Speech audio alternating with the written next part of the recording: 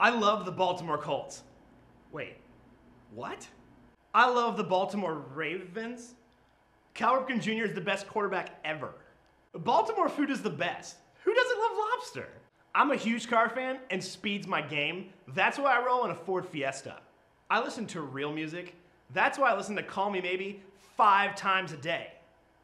Hey, I just met you, and this is crazy. So here's the number. So call me. I like to think of myself as a world traveler. This last summer I went to Pennsylvania. Next year, Virginia. How do I stay this fit? Speed walking. It's the best workout ever.